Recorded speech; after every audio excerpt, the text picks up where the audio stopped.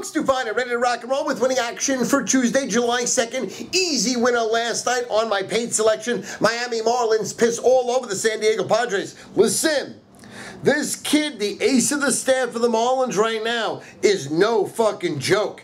He is absolutely incredible, and he's winning on a daily basis. Holy fucking shit. Listen, look at what the Marlins did in the month of June once they got back their best player, Stanton.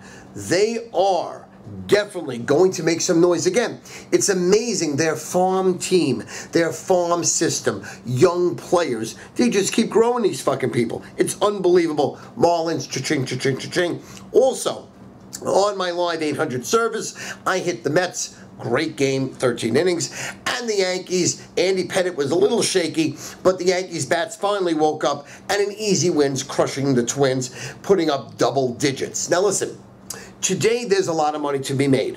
Whether you Bet the free game that's on my website right now, which I'm hitting over 66% since I've been posting every single day a free winner with analysis. Whether you call the free pick phone, where today you're going to get some value. Today you have a two team underdog parlay. A two team underdog parlay on the free pick phone, 800 982 2211. Absolutely worth a couple of seconds you calling it. 800 982 2211. Or you pay the site because I have one best bet I absolutely love. And my best bet today is an all in game. It's all fucking in on my winner. All in best bet. Plus, the Godfather Howie Feiner has been hot since baseball started. One in April, one in May, one in June, and is winning in July already. The Godfather has his best bet right now. Get it right now at StuFeiner.com, StuFeiner.com, StuFeiner.com.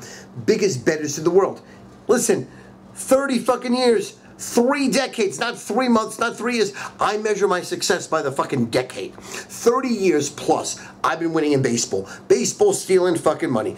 Give me an opportunity. Give me a shot to show you what I can do for you. On the video blog, I discuss where I think Dwight Howard will go. I will discuss where I think Dwight Howard will go on the video blog. I love you. God bless you. Have an amazing day. Bye bye.